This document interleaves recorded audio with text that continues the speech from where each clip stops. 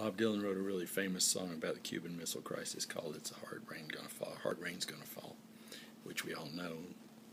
Uh, evidently, he wrote a, a, shorter, less important song uh, earlier on, more or less around the time he heard about the the issue, and uh, you don't hear it that often. So this is called Cuban Cuban Missile Crisis.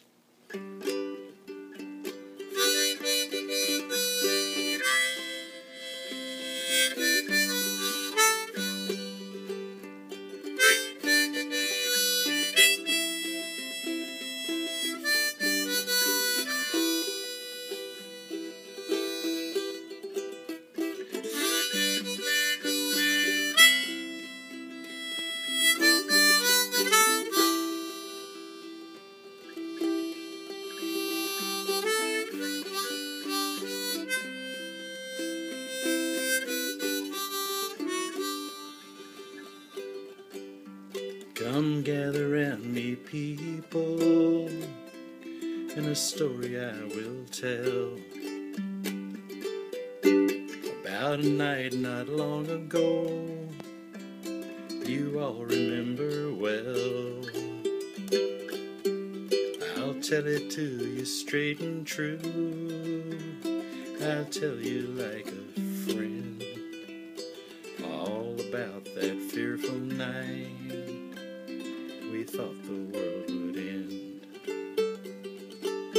I was walking down the sidewalk, not causing any harm. When the radio reported, it sounded with alarm. Them Russian ships were sailing all out across the sea. And we all feared by daybreak it would be World War Three. I was worried about an argument I'd had the day before.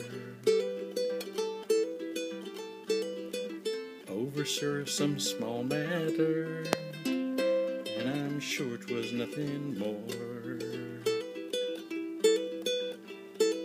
But just that one short day ago, I'd wrinkled up my brow. The same thing today seems so unimportant now.